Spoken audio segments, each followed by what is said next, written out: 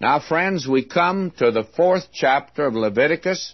We've been talking about the five offerings that are in these five chapters, and we have seen the first three offerings. They are called sweet savor offerings. And now we come to the first non sweet savor offering. The first three were the burnt offering, the meal offering, the peace offering. Now we come to the first of two non sweet savor offerings. The first is the sin offering, and that is sin as a nature.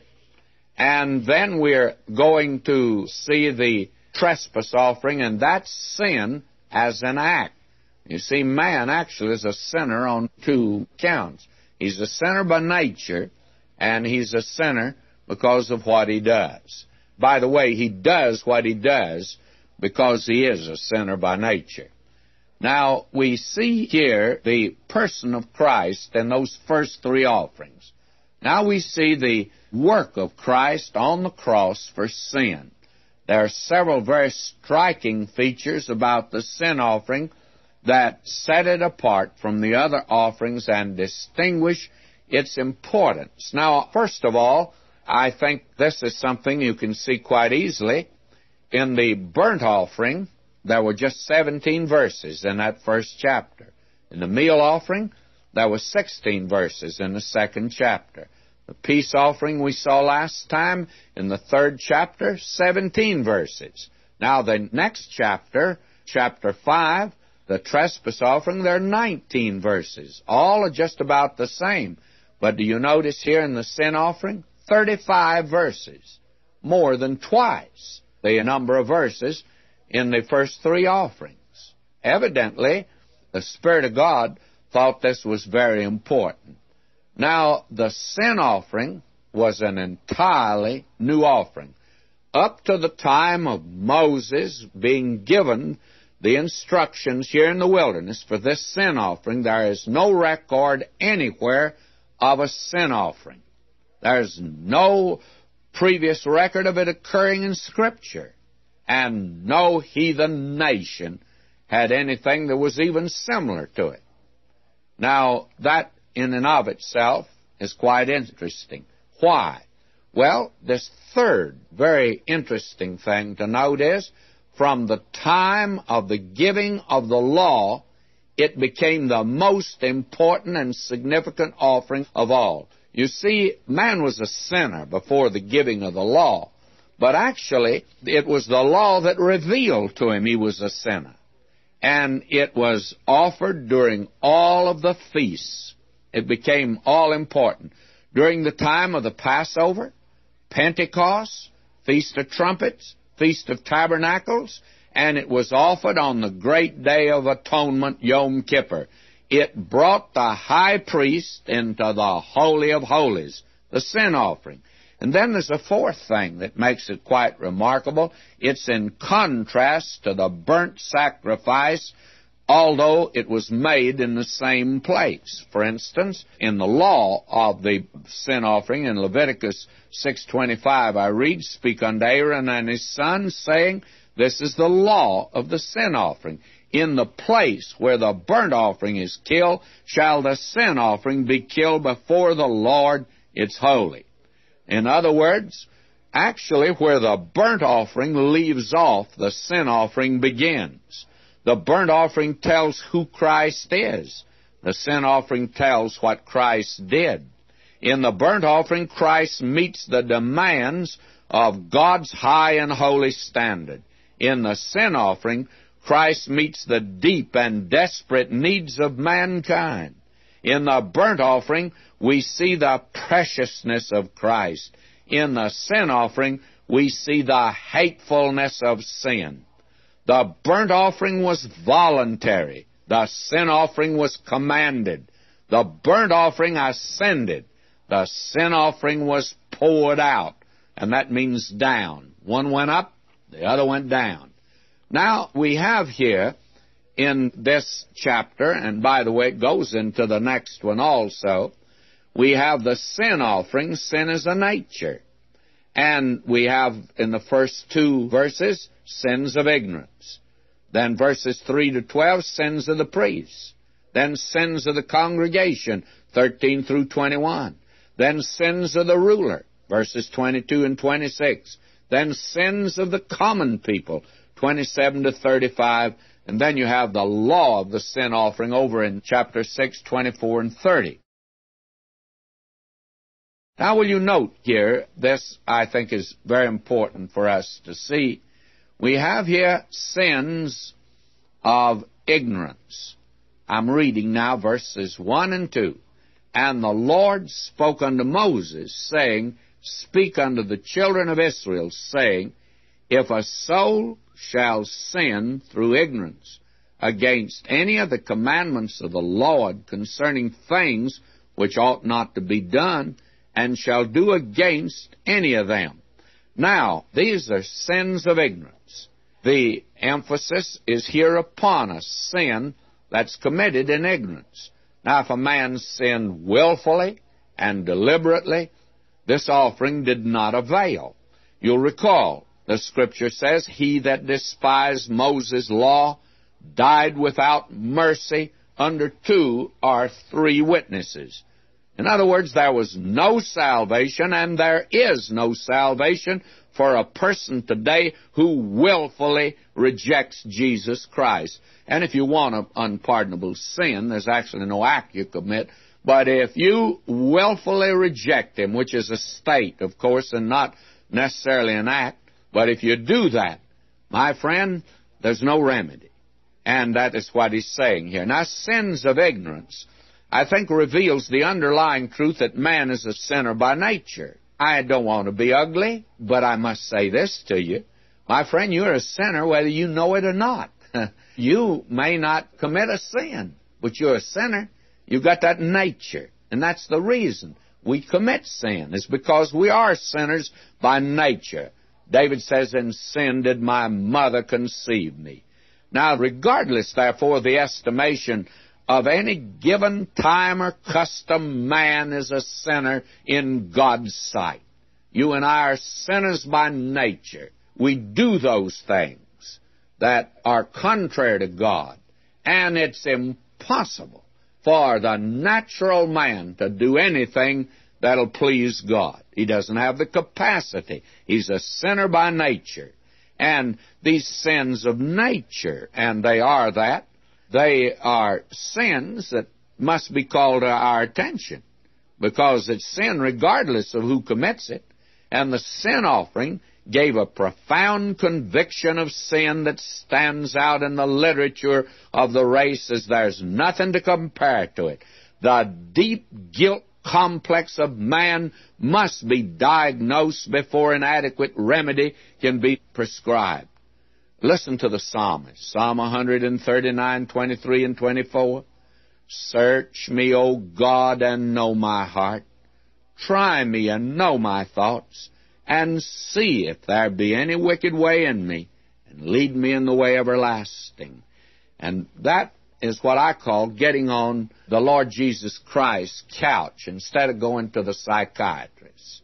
A great many people with a guilt complex today go to the psychiatrist. And the impression is given that the psychiatrist or the psychologist has a skill that the Word of God does not reveal.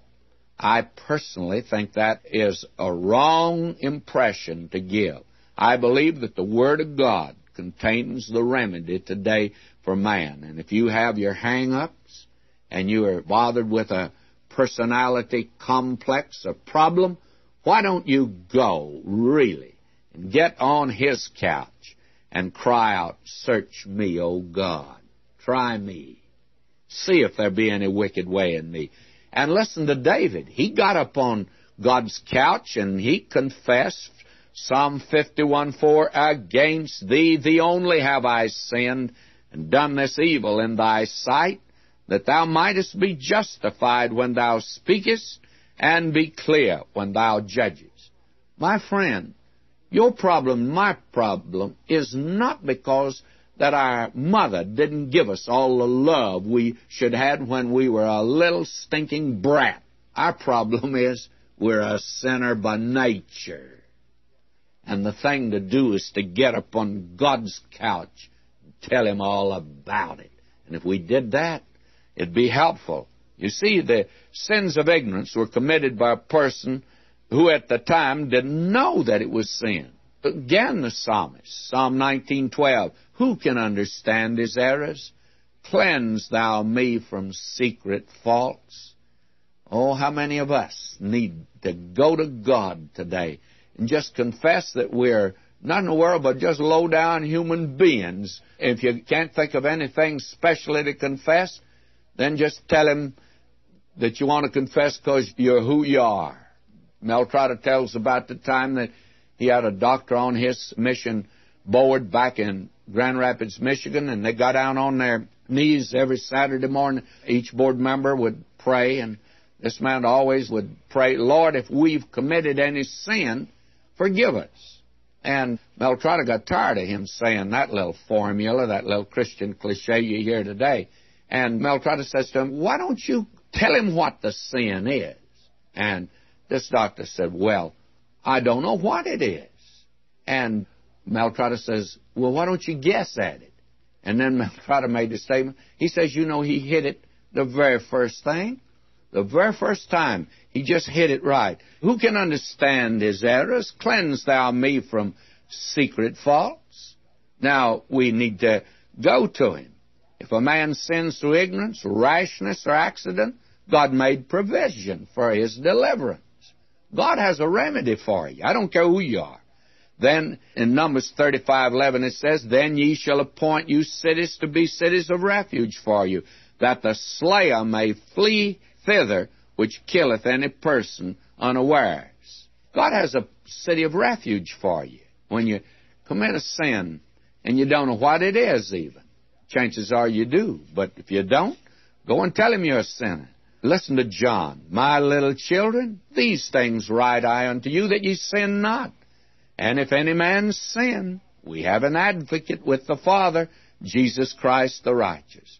Now, Paul explains the reason that he was the chief of sinners and why obtain mercy. 1 Timothy 1 13 and 15, who was before a blasphemer, a persecutor, and injurious. But I obtained mercy because I did it ignorantly in unbelief.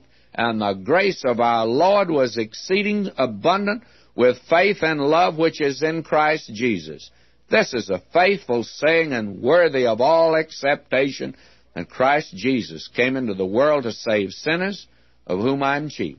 I remember my dad died and I was 14. I was put in the business world. I got with the wrong crowd and I was out doing things, I'll be honest with you, that a man 25 years old was doing. And I was just 16 years old. And I'm not offering it as an excuse, but I really didn't know how bad it was. And then there came that day when I did come to Christ, and from that day to this, I look back and hate myself for what I did. Thank God, friends, there's a sin offering. He died, and I can go and tell him all about it. I don't have to crawl up on somebody's couch and tell him none of his business. But it sure is God's business. He dealt with my sin on the cross. Listen to the psalmist again, Psalm 32 5. I acknowledge my sin unto thee, and mine iniquity have I not hid. I said, I will confess my transgressions unto the Lord, and thou forgavest the iniquity of my sin. You see, that lifts the guilt complex. But the sin offering even taught its own inadequacy. It had to point to someone else sacrifice and offering thou didst not desire. Mine is. Hast thou opened burnt offering and sin offering hast thou not required? That sin offering pointed to Christ, and it pointed the way to God's perfect satisfaction and forgiveness, having therefore, brethren, boldness to enter into the holiest by the blood of Jesus, by a new and living way, which he hath consecrated for us through the veil, that is to say, his flesh. And having a high priest over the house of God, let us draw near with a true heart and full assurance of faith, having our hearts sprinkled from an evil conscience and our bodies washed with pure water. Vernon McGee, a sinner, can come into his presence with boldness Why? Because Jesus was my sin offering. And it was for these sins of ignorance, even. Now we have the sins of the priests, verses 3 through 12. If the priest that is anointed do sin according to the sin of the people, then let him bring for his sin, which he hath sinned, a young bullock without blemish unto the Lord for a sin offering. Now the sin of the priest is considered first. Why? Well, he stood in the place of leadership. If he's wrong, the people were wrong. His sin's their sin. Like priests, like people, the Word of God says. He was to bring a young bullock, which was a most valuable animal of all. And the position of the one who sinned determined the type of animal for his sin offering, his sin sacrifice. His sin was no different, but his responsibility was greater. And you remember James, a very practical man, he said, My brethren, be not many masters, knowing that we shall receive the greater condemnation. That's James 3 1. My brother, why do you want to be a preacher? Makes you more responsible. Why do you want to sing a solo? It makes you responsible. Why in the world do you want to be a deacon or an officer in a church or teach a Sunday school class? You're more responsible than anyone else. And he'll hold you to it, by the way. And that's what he's saying here. We are told that for the law maketh men high priests which have infirmity. But the word of the oath which was since the law maketh a son who's consecrated forever. And that's the difference between Christ, our great high priest, and the order of Aaron. They were just weak men like we are. They had to have an offering. But our Lord, He offered for you and me. Then verse 4, He shall bring the bullock under the door of the tabernacle of the congregation before the Lord, shall lay his hand upon the bullock's head and kill the bullock before the Lord. Now, this is the same ritual for the sin offering that you actually have with a burnt offering, a striking similarity. And then, verses 5 and 6, and the priest that is anointed shall take the bullock's blood, bring it to the tabernacle of the congregation. The priest shall dip his finger in the blood, sprinkle of the blood seven times before the Lord, before the veil of the sanctuary. Now, to sprinkle the blood seven times before the veil secured God's relationship with the offender. Now, will you notice? That's not all. And I'll go into this. And the priest shall put some of the blood from the horns of the altar of sweet incense before the Lord, which is in the tabernacle, the congregation, and shall pour all the blood of the bullock at the bottom of the altar of the burnt offering which is at the door of the tabernacle, the congregation. Now, this may sound to you bordering on paganism, but has a wonderful spiritual message here. Now, to put some of the blood on the horns of the altar of incense, and that altar incense was the place of prayer, that indicates that Christ has made a sacrifice, that when you and I confess our sins, He's faithful and just to forgive us our sins cleanse us from all unrighteousness, and we are restored to the privilege of worship and to the place of prayer and to fellowship. And it all's dependent on the blood of Christ. And almost all things are by the law purged with blood, and without shedding of blood is no remission. You see, the remainder of the blood was poured out at the bottom of the brazen altar. This satisfied the conscience of the sinner and removed any guilt complex. My friend, the thing for you to understand and for me to understand that when Christ forgives your sin, He forgives you, friend. Nothing more to be said about it. He has put it in the bottom of the sea and it'll never be remembered anymore. He settles the sin question. That'll get rid of your guilt complex. Somebody, oh, I wonder if He forgiven me. Oh, my friend. he took it all away. He took it all away. This was the remedy, you see, for the conviction of sin. And the only one that could satisfy the mind and heart. And when you come to Christ and see Him, you'll find Him adequate. And we are told here that for the sin offering follows the same ritual as the peace offering. From here on, the fat's burned on the altar. and fellowship is complete and service is restored, you see. Not fat. You remember? That means God's called you to enjoy the best. And we're told, and the skin of the bullock, and all its flesh, with his head, with his legs, his innard, his dung, even the whole bullock, shall he carry forth without the camp unto a clean place where the ashes are poured out, and burn him on the wood with fire. Where the ashes are poured out shall he be burned. Now, at this point, we have a radical departure from the other offerings. The remainder of the bullock was taken without the camp, and it was burned there. Now, we believe that this is just simply an emphasis upon the exceeding sinfulness of sin.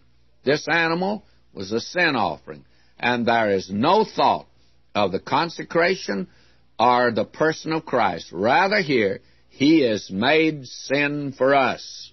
And I think even a deeper meaning is suggested in Hebrews 13. We have an altar whereof they have no right to eat which serve the tabernacle. For the bodies of those beasts whose blood is brought into the sanctuary by the high priest for sin are burned without the camp. Wherefore Jesus also, that he might sanctify the people with his own blood, suffered without the gate. Let us go forth therefore unto him without the camp, bearing his reproach. For here we have no continuing city, but we seek one to come. My, we need to ponder this scripture well. Religion can never satisfy the heart or meet the holy requirements of God. Friends, only the death of Christ on the cross can give us forgiveness of sins. It took that. We're sinners by nature. We're not fit for heaven. And if God consigned this entire world into a lost eternity, the angels in heaven would still sing, Holy, Holy, Holy. And He's righteous and good. But thank God He didn't do that. He loved us. And our sin is frightful, but He was made sin for us. Oh, my friend today, if you've never turned to Him and trusted Christ, see that He's adequate. See that He meets the deep need of your heart and your soul.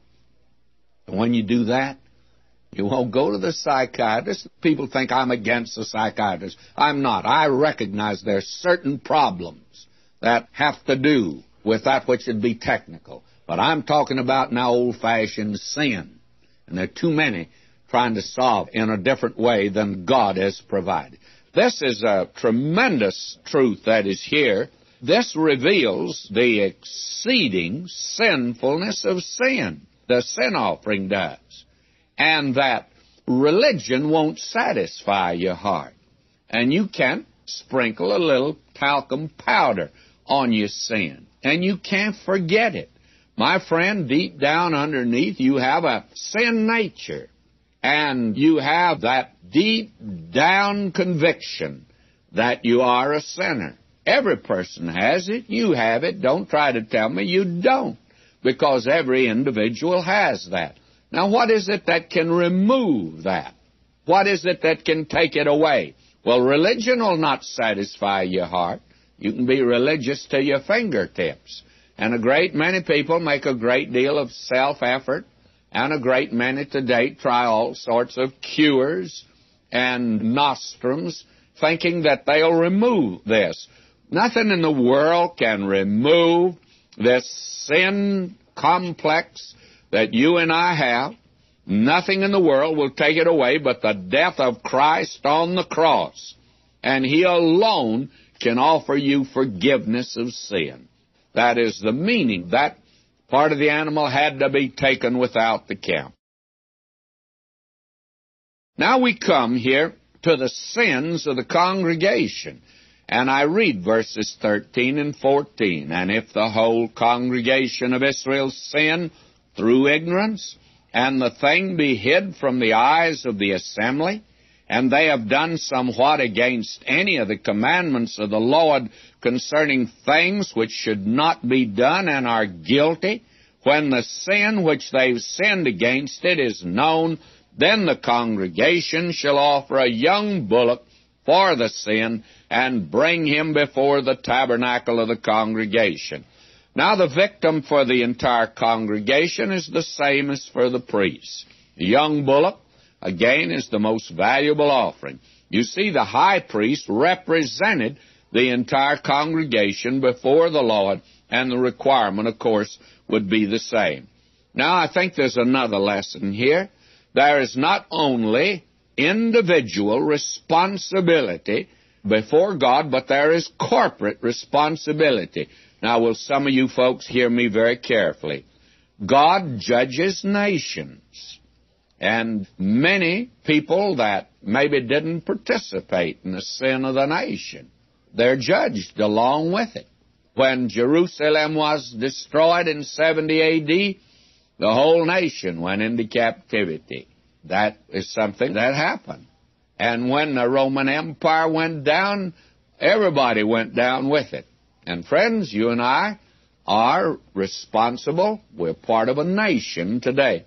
And not only that, but God judges churches today, local congregations. I hear people say this, well, you know, my church has gone liberal, but I'm going to stay in and witness. Where'd you get that idea? It's not in the Word of God.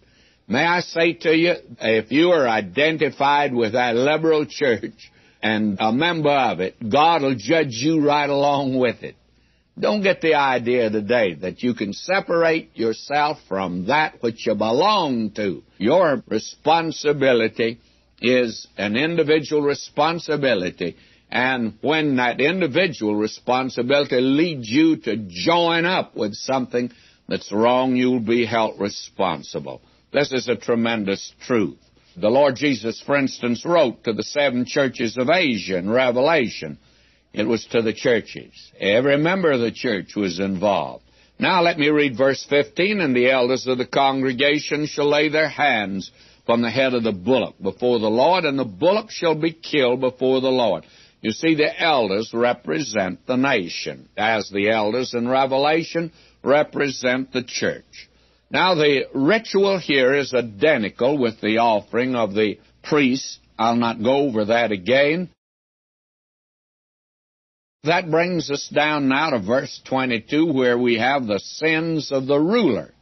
When a ruler hath sinned, and done somewhat through ignorance against any of the commandments of the Lord his God concerning things which should not be done, and is guilty. Or if his sin wherein he hath sinned come to his knowledge, he shall bring his offering a kid of the goats, a male without blemish. Now this is a ruler and this is true, of course, of all these different groups that are to bring an offering because they're sinners. They have responsibility that's different because of their position. The priest, then the congregation, and now the sins of the ruler. And each one, it says, and is guilty. This is not a rumor. Guilt must be established. It's so easy to charge people in places of responsibility today and to be inaccurate about it. Before he's to bring the offering, it's to be determined whether he's guilty or not. It's not hearsay, it's not gossip, but it is guilt. And we're told that if his sin come to the knowledge, he shall bring his offering. Now the ruler again is in a place of responsibility. It's a civil ruler, of course, we're talking about here. And this, unfortunately, is something that our politicians, I was going to say statesmen, but I'm afraid that it's not the word for them today. Our politicians do not seek to please God. I've listened to them on TV in the news that's given and in the interviews that they have, and I have yet to hear one, Democrat, Republican, or what have you, that feels he has a responsibility to God. Publicly, they don't say that. They're always trying to please the people. And today, more and more, they're saying we want to please our constituents. And of course, that is about as big a fabrication as you possibly could have because that's the last thing that they really do. But may I say, God says they're responsible to Him. I candidly wouldn't want certain offices today. I wouldn't seek them out at all. I sometimes think that a man that even talks about running for a very prominent office, that he really ought to have his head examined because the tremendous responsibility that'll be on him, not before the people, that's there, of course, but he's responsible to God. Now, we're told he's to bring a kid of the goats, a male without blemish. And then we have the same ritual and procedure that you have in the others, but the offering is not as valuable as the bullock. But the goat reveals his responsibility in the fact that it is a male. Now you have the sins of the common people here. That is Joe Doakes and John Doe, by the way. And that's you and I. We're talking about common people now. Verse 27. And if any of the common people sin through ignorance, while he doeth somewhat against any of the commandments of the Lord concerning things which ought not to be done and be guilty. We're talking about common people, talking about you, talking about me. And the offering was for a sin through ignorance. And it was against the commandment of God. And that is something specifically stated as being forbidden. And it has to be established again that he's guilty, that this is not just hearsay. Now, this offering was to lift the guilt complex and to satisfy the conscience. You see, again, friends, the death of Christ alone can lift the crushing guilt complex from modern man. Psychological procedures have not been able to accomplish this. The conscience may be seared with a hot iron and you may transfer the guilt complex from one area to another. But down deep in the human heart, there is this strange guilt complex that'll linger on and on and on, and it's only as you bring it to Christ. Now we're told here, verse 28, Or if his sin, which he hath sinned, come to his knowledge, then he shall bring his offering, a kid of the goats, a female without blemish, for his sin which he hath sinned. Now, something may come to his knowledge later, and it's no longer a sin through ignorance, but it requires the same sacrifice. And today, what does the believer do? Well, we go to Christ as a lost sinner, and we accept Him as Savior. And then, as believers, we find out that we sin. So, what do we do? If we confess our sins, He's faithful and just to forgive us our sins, cleanse us from all unrighteousness.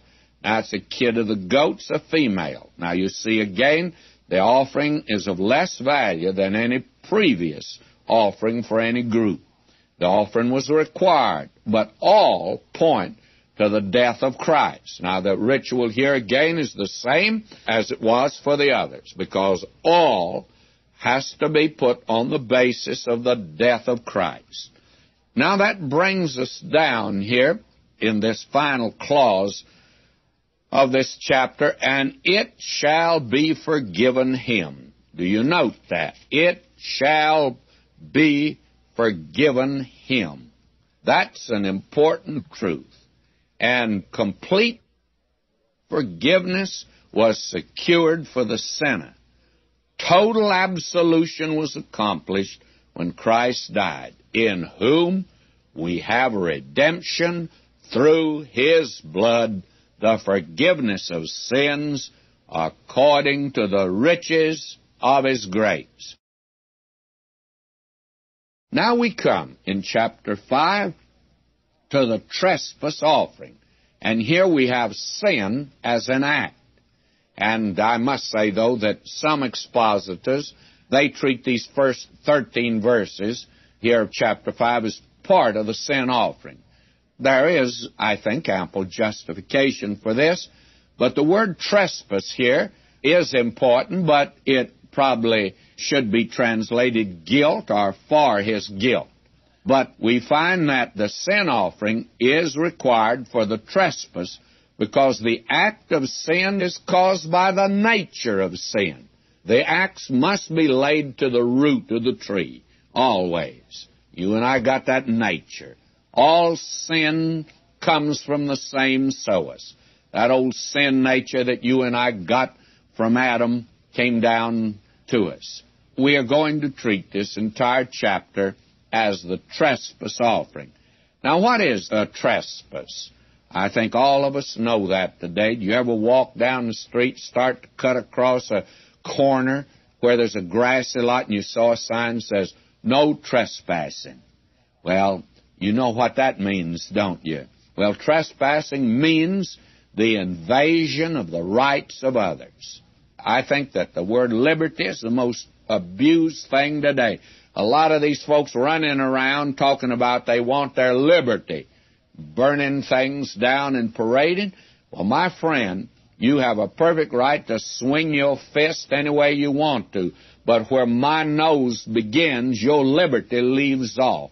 You have no right to interfere with somebody else's liberty, you see. And it's a trespass when you do. We all have a sinful nature, a fallen nature. In fact, man is totally depraved. He has actually no capacity for God whatsoever.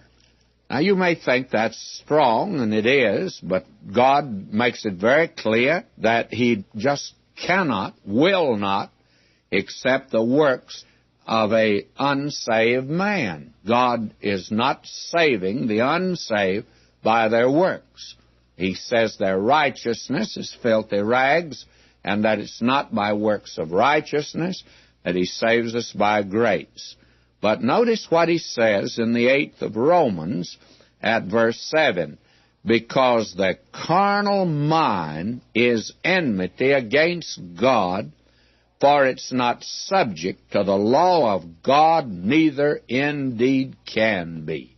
It's impossible for an unsaved man to please God. The only way that we can please Him, when the religious folk in that day came and said, What can we do to do the works of God? What are the works? He says, This is the work of God, that you believe on Him whom He has sent. Well, that's to believe on the Lord Jesus Christ, and thou shalt be saved. You and I have a sin nature, and that sin offering dealt with that. Now, the trespass offering here in chapter 5 is sin as an act. And you find out in these first few verses here, the first 13 verses, some have treated them as part of the sin offering. Well, actually, it's a sin offering.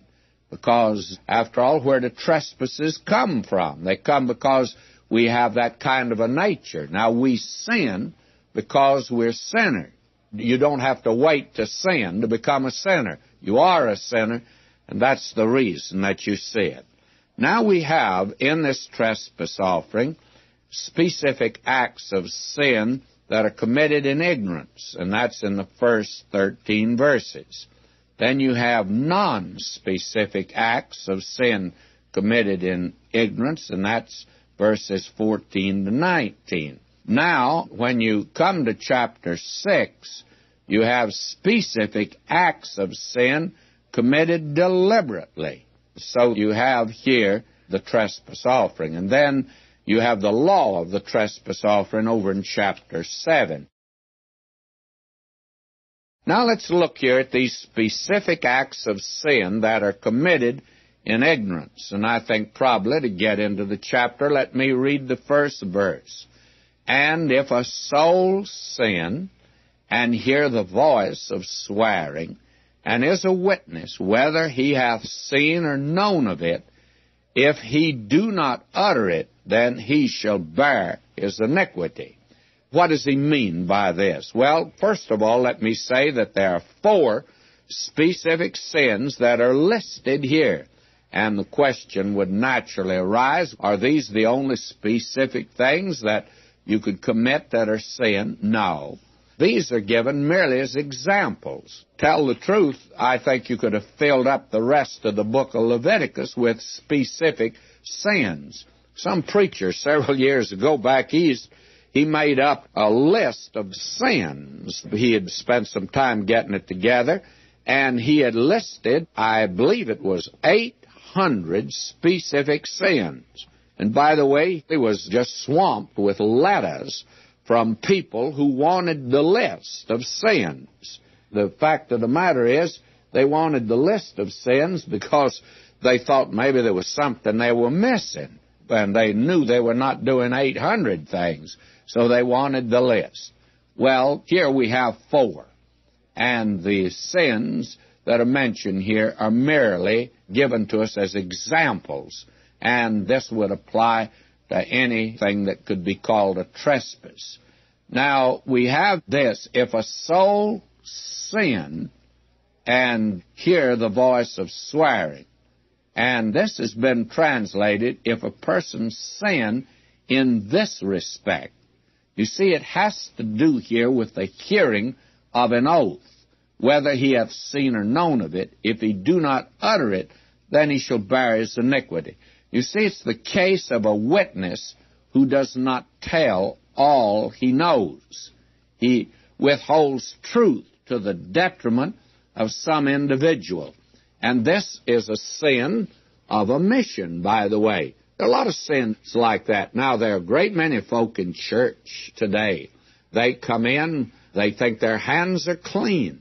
They say, Well, I didn't murder anybody this week, and I didn't break the speed limit and I certainly didn't steal. But the very interesting thing is that he didn't tell all the truth, though.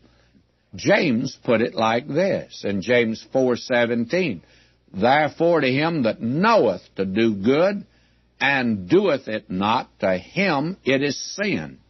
You find over in 1 Kings, the 8th chapter, verse 31, this is said, If any man trespass against his neighbor, and an oath be laid upon him to cause him to swear, and the oath come before thine altar in this house, then hear thou in heaven, and do and judge thy servants, condemning the wicked to bring his way upon his head, and justifying the righteous to give him according to his righteousness.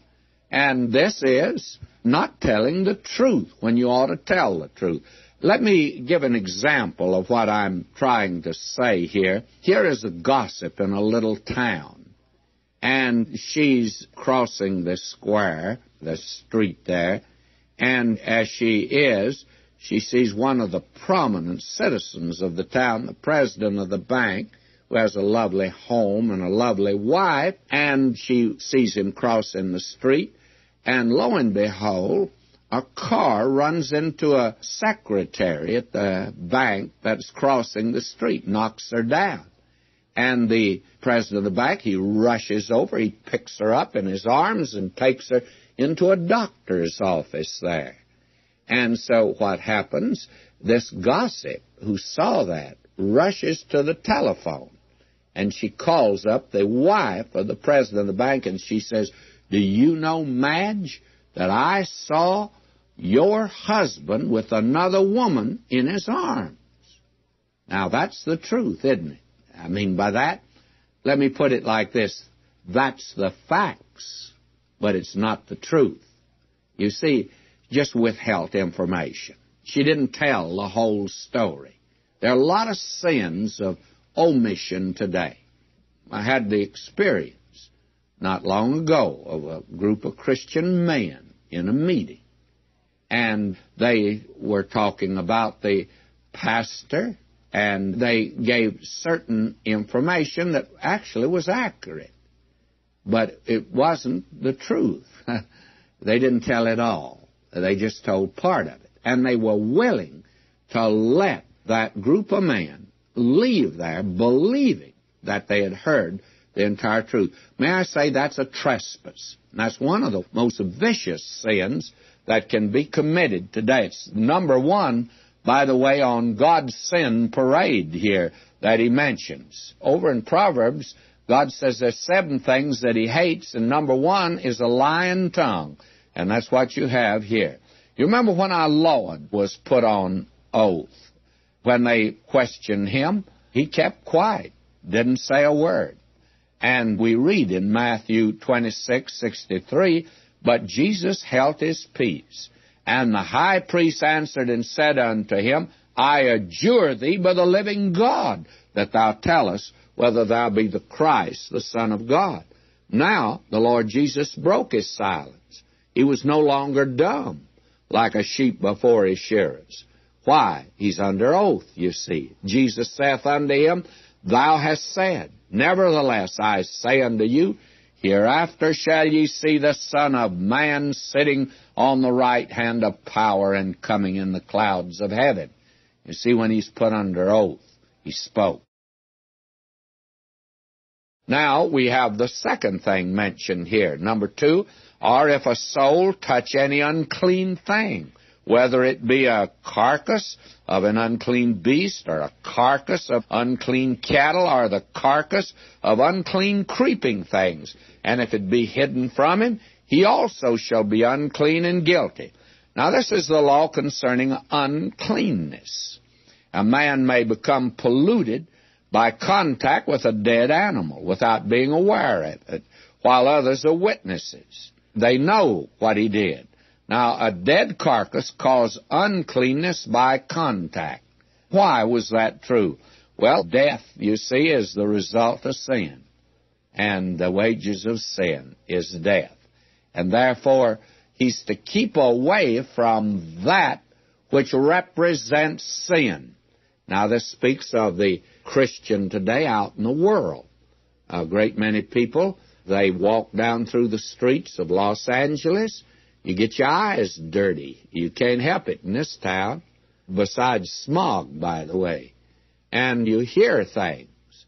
And you sometimes think things. May I say to you, we get unclean.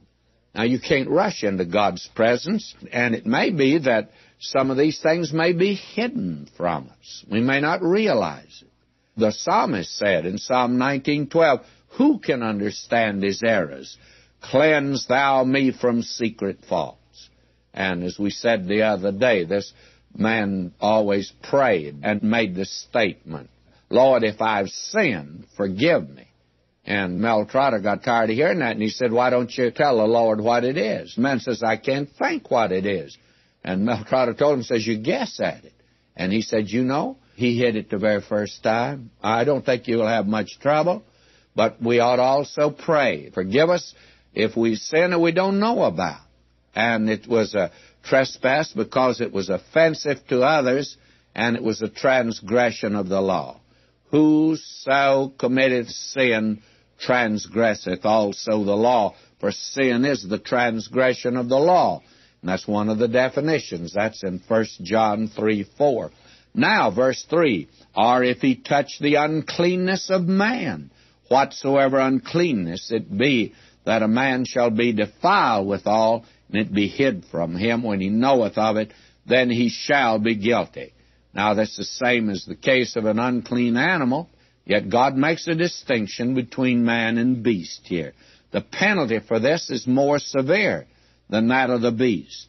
Apparently, there were other distinctions of uncleanness concerning man other than death, therefore, so that you are apt to get soiled walking through this world.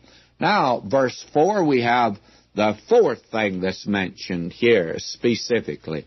Or if a soul swear, pronouncing with his lips to do evil or to do good, whatsoever it be that a man shall pronounce with an oath, and it be hid from him, when he knoweth of it, then he shall be guilty in one of these.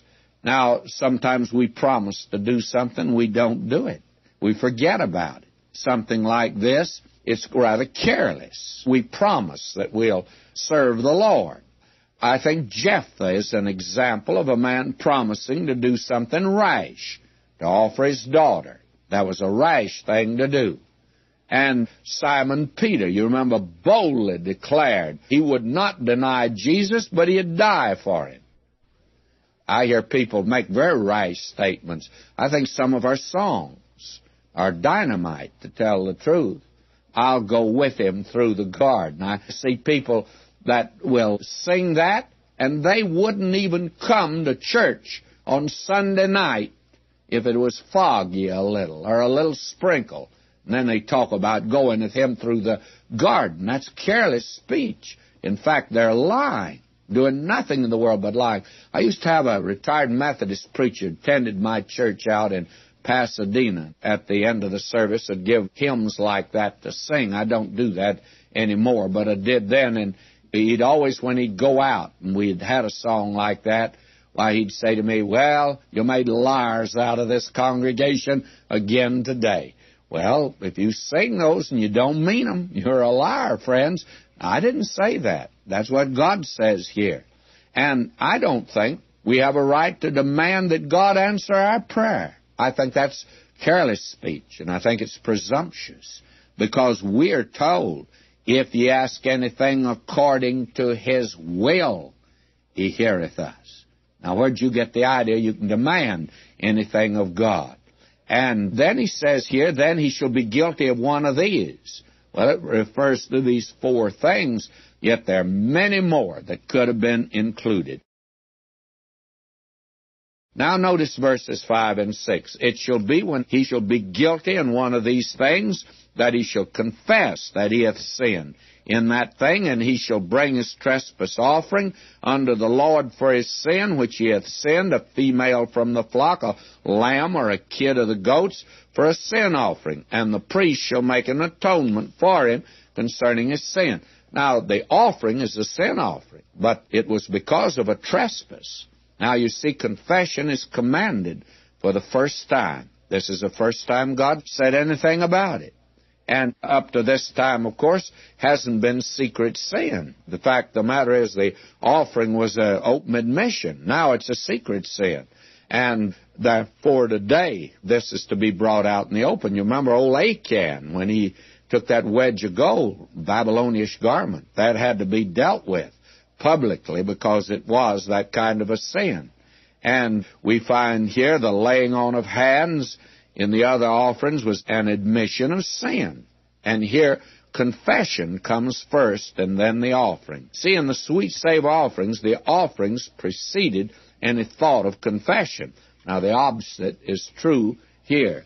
And I think this is what our Lord had in mind in the Sermon on the Mount. He says, Therefore, if thou bring thy gift to the altar, and thou rememberest that thy brother hath aught against thee, leave there thy gift before the altar, go thy way, first be reconciled to thy brother, then come and offer your gift. Now the believer today is to confess his sin to God privately, but make restitution to the injured party. And trespass offering just simply means offering of guilt. It was a sin offering. As all sin you see, comes from that nature that we have today. Now we are told in verse 7, And if he be not able to bring a lamb, then he shall bring for the trespass which he hath committed two turtle doves, or two young pigeons. Well, this is for the poor people. But suppose he couldn't even get a bird. And he shall bring them unto the priest, he shall offer him. And then we're told here that the blood must be shed, because the head of the bird had to be removed. And it reveals here that the sinner has complete forgiveness even with the little bird. But notice this.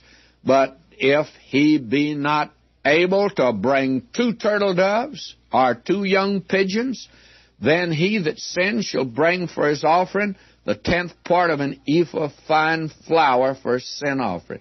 In other words, he just bring a piece of bread that's all he'd have to bring. So that the poorest of the poor are not left out.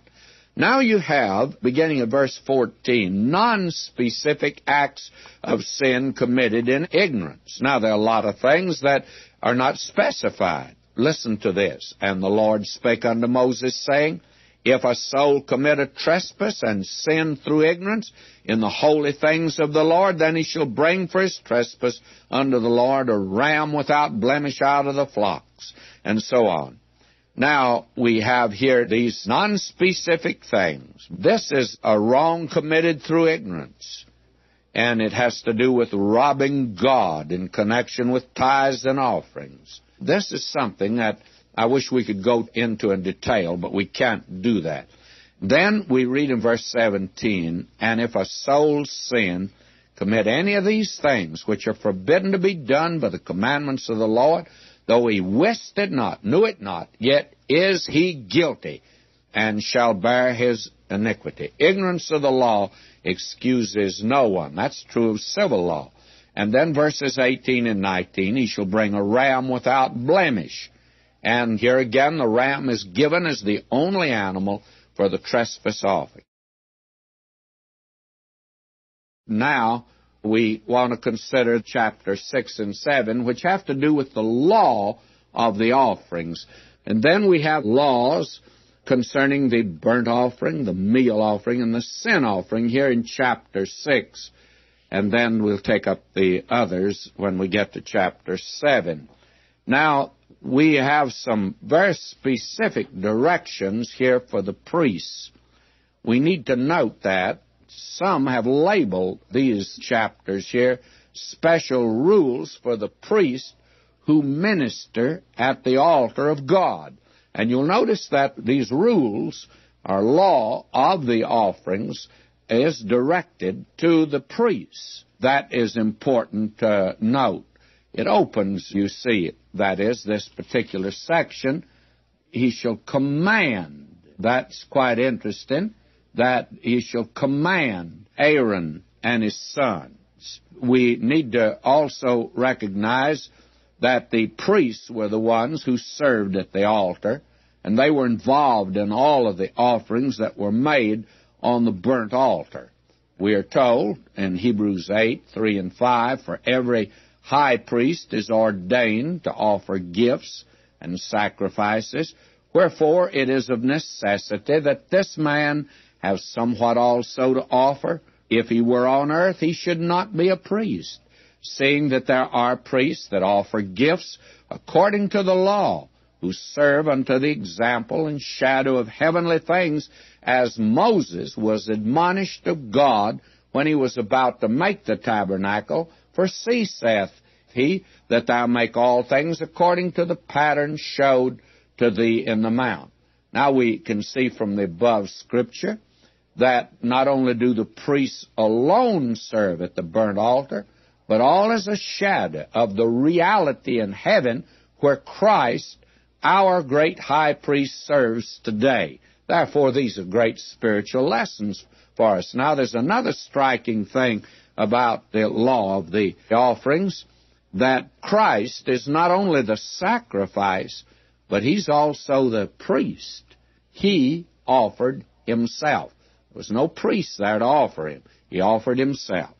And this is what we're told. And again, let me give this extended quotation from Hebrews 10. Wherefore, when he cometh into the world, he saith, Sacrifice and offering thou wouldst not, but a body hast thou prepared me. In burnt offerings and sacrifices for sin thou hast had no pleasure. Then said I, Lo, I come. In the volume of the book it's written of me to do thy will, O God. Above, when he said, Sacrifice and offering and burnt offering and offering for sin, thou wouldst not, neither hadst pleasure therein, which are offered by the law. Then said he, Lo, I come to do thy will, O God. He taketh away the first, that he may establish the second, by the which will we're sanctified through the offering of the body of Jesus Christ once for all, and every high priest standing daily ministering and offering oftentimes the same sacrifices which can never take away sins. But this man, after he had offered one sacrifice for sins forever, he sat down on the right hand of God.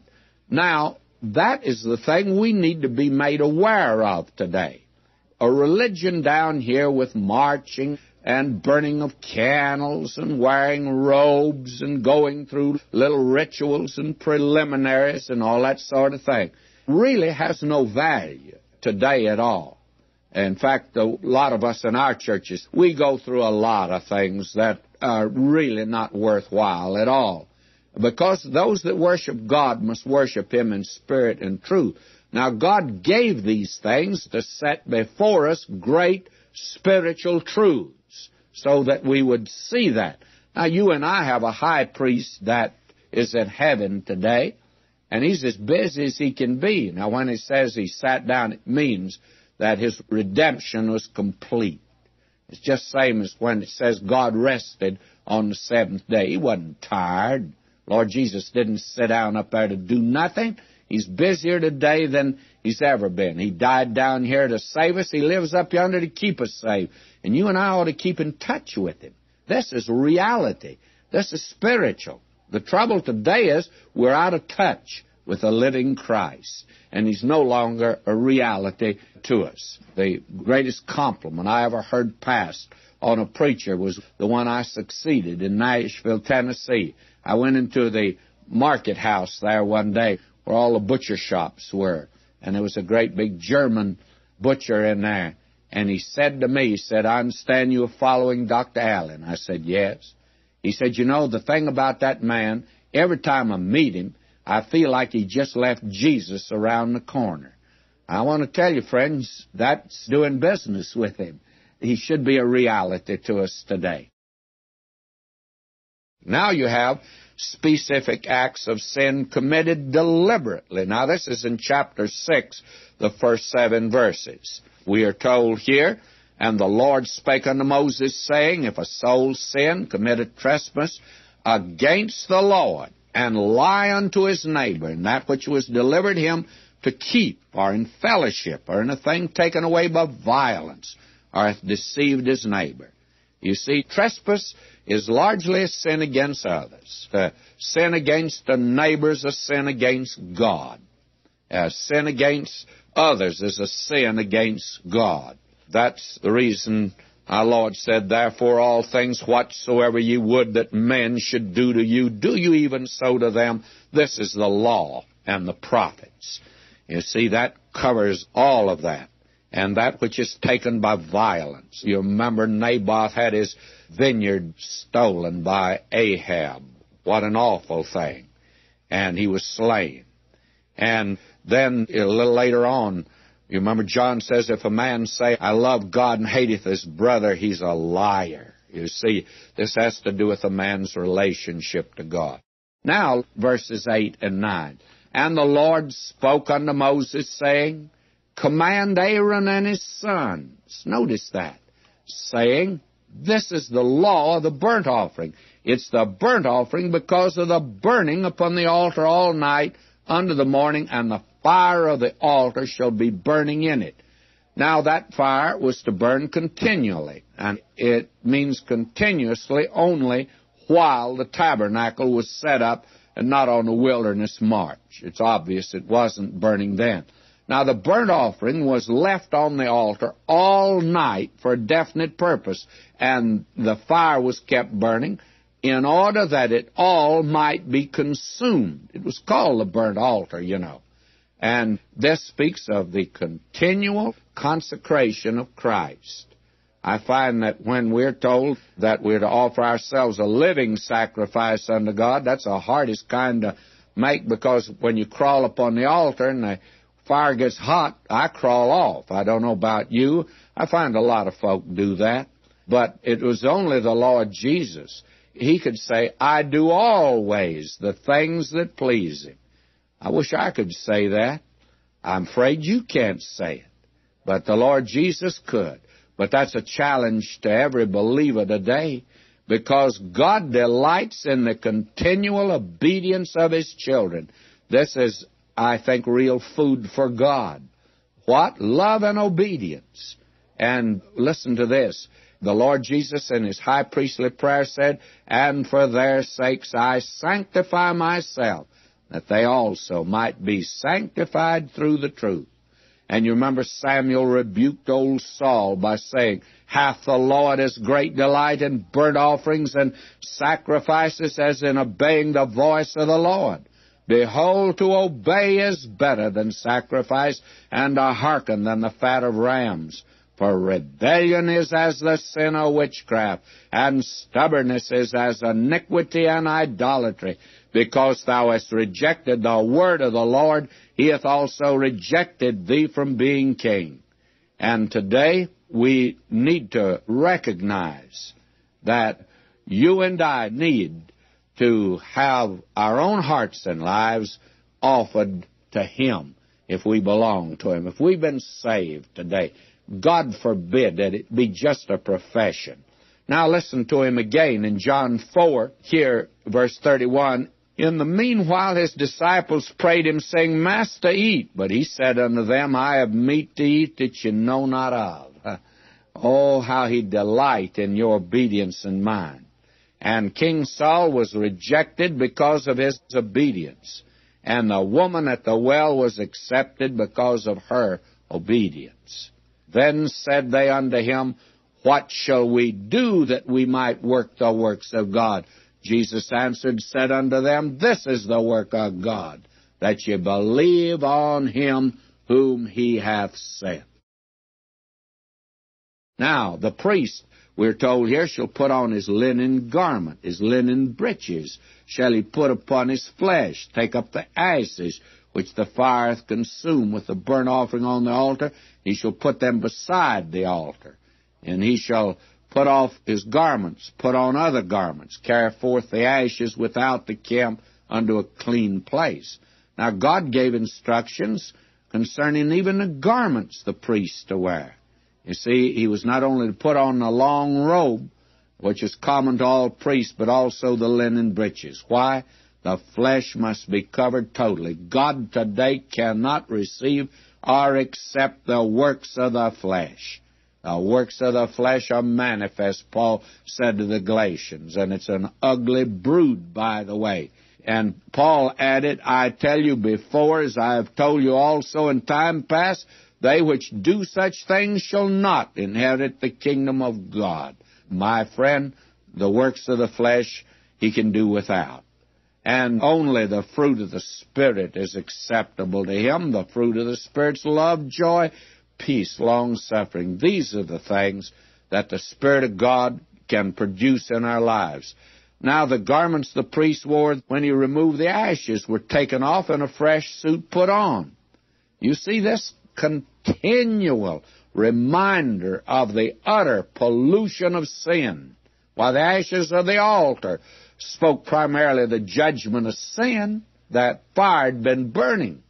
And even the ashes are contaminated, and they must be taken out like this and put in a clean place outside of the camp. What a picture today of how defiling sin is.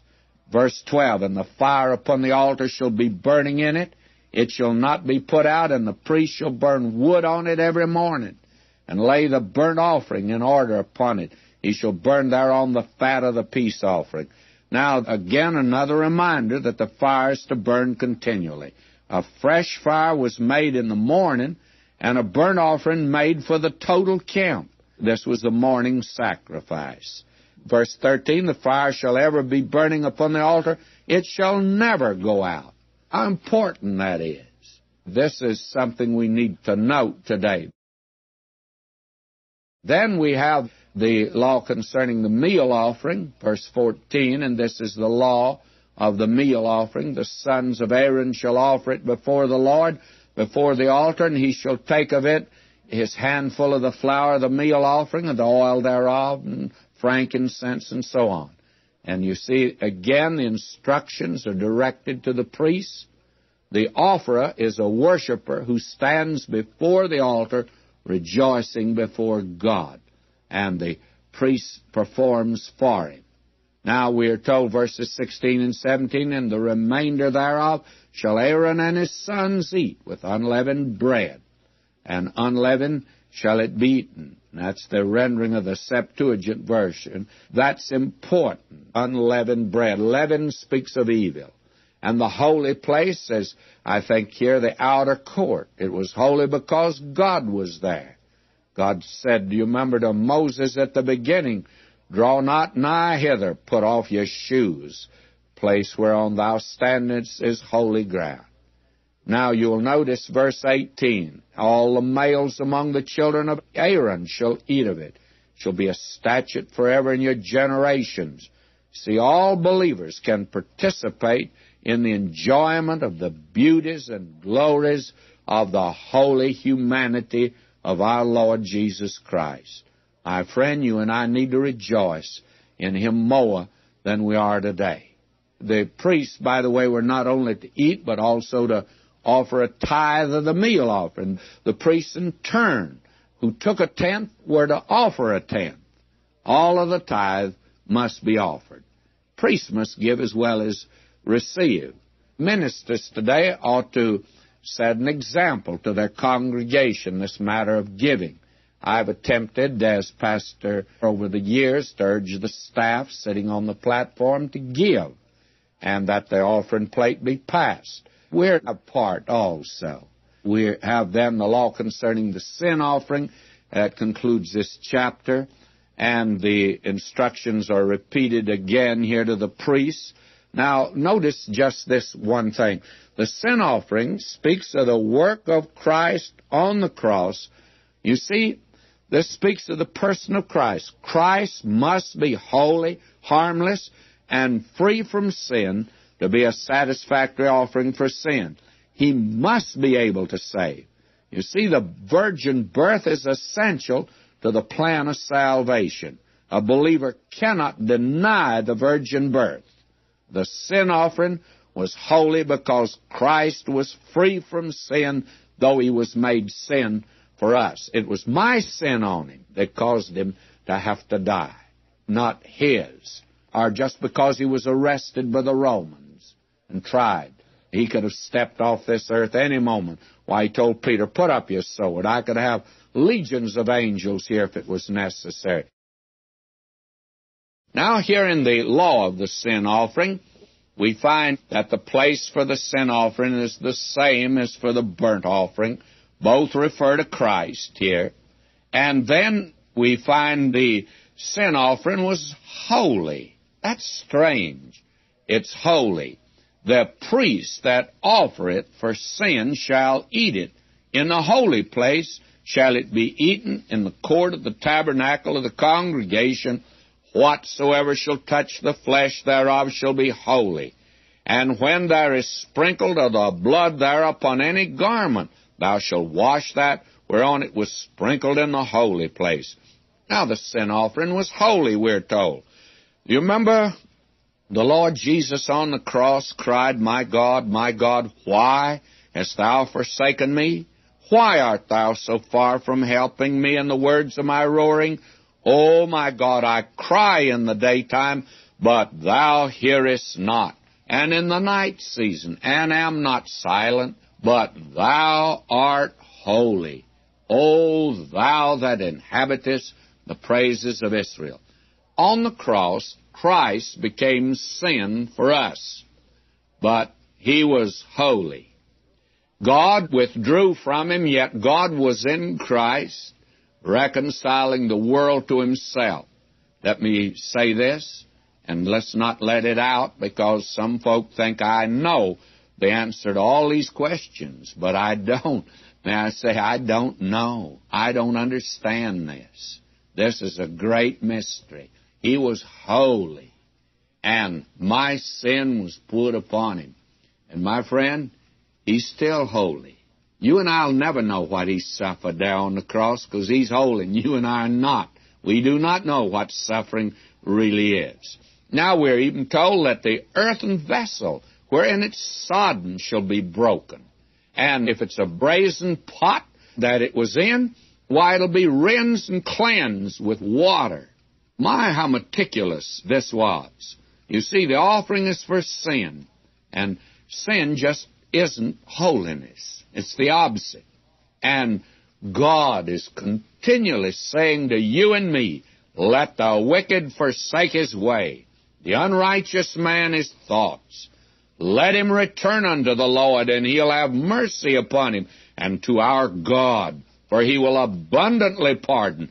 For my thoughts are not your thoughts, neither are your ways my ways, saith the Lord. For as the heavens are higher than the earth, so are my ways higher than your ways, and my thoughts than your thoughts. That's Isaiah 55, 7 and 9. You see, you and I today need to be reminded of the fact that He saved us from sin, not saved us to sin.